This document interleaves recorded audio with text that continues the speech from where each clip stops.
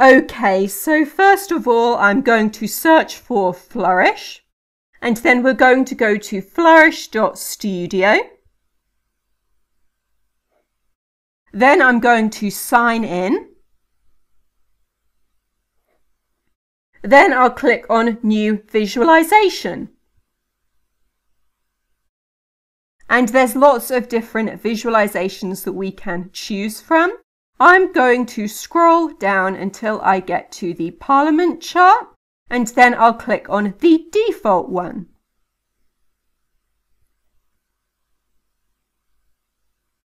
Now we can go to the Data tab and I'll delete all of this information here and then type in the information that I want.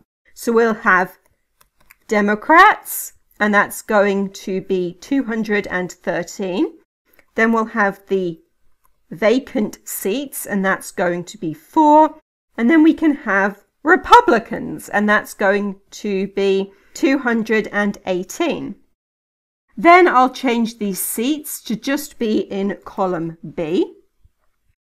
And now we can go back to the preview tab. Now we can change the total number of seats to be 435.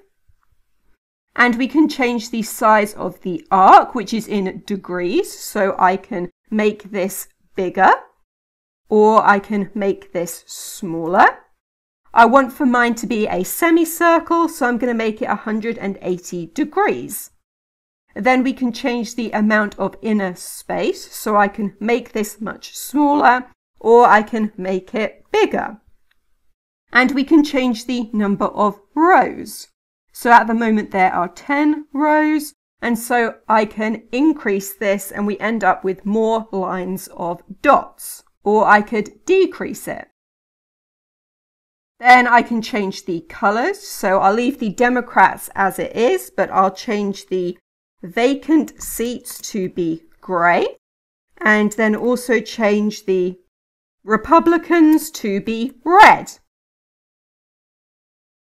Then I can give this a legend and I can put the legend in the middle and I can remove the table.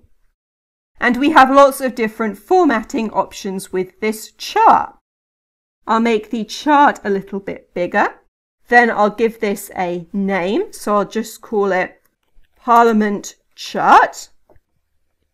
And then we'll go to export and publish and I will download this chart as an image.